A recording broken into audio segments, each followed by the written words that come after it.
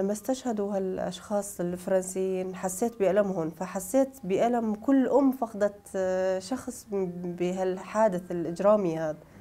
فأنا حبيت أعبر لهم عن آه، مدى تعاطفنا معهم إنه مصيبتكم مثل مصيبتنا. يعني أنتم عم بتعانوا من الإرهاب من هالتطرف من هالأشياء اللي تقتل الحياة تقتل الإنسان.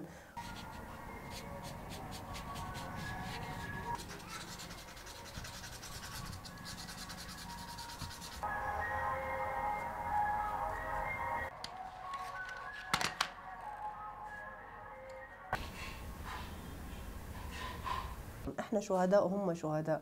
هذول ناس أبرياء يعني ما لهم دخل بأي سياسات أو دول عظمى. ممكن آه، ناس عايشة بسيطة بحياتها اليومية ما لها دخل بسياسات لحتى يروحوا ذنب قرارات هن مو أصلا مو مو هم اللي ماخذينها. نفس الشيء إحنا صار فينا. يعني إحنا آه، ناس مسالمين آه، بسيطين عايشين كنا بكل هدوء.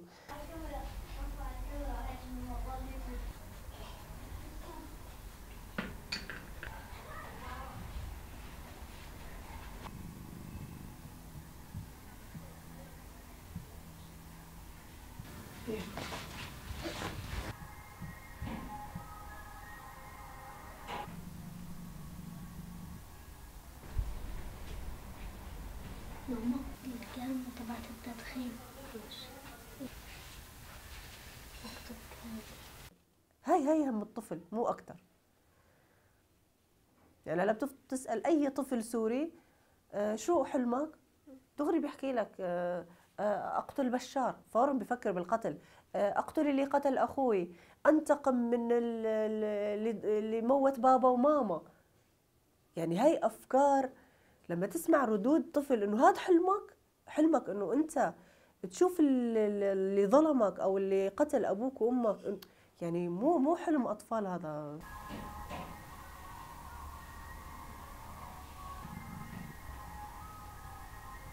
يعني أنا مريت بتجربة آه، قاسية يعني. مثلا ابني أسامة شاف كيف جابوا أخوه شهيد وميت فتعرف على الموت.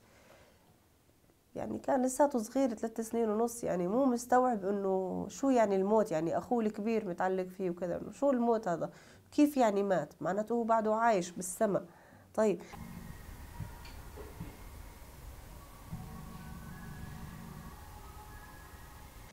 فإجباري لازم آه، نحسن هاي النفسية نطالع هال هالفكرة السوداوية اللي انزرعت فيهم. هاي الصور اللي رسموها هاي ولا هذيك؟ هون. لا هذول. لا مدرسة مع الأنسة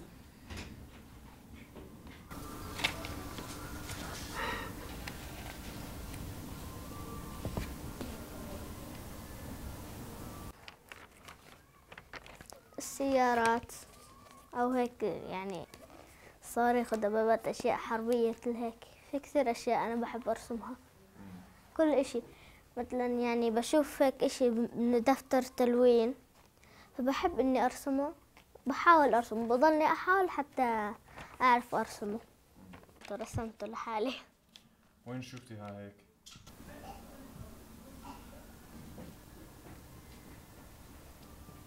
يعني إحنا زمان لما نقول شو بتحلم؟ بدي أصير دكتور، بدي أصير مهندس، بدي أصير بدي أعمل كذا. هلأ ما عم بتشوفوا هذا بأحلام أطفالنا. تغير تغيرت كل مفاهيمهم فإحنا عم نحاول نرجعهم لل للشيء الصح لأنه إحنا راحت مثلا بإمكانك تقدر إنه مثلا هذا صح هذا غلط بس طفل هذا شو بتزرع فيه بالطفولة فبينشأ عليه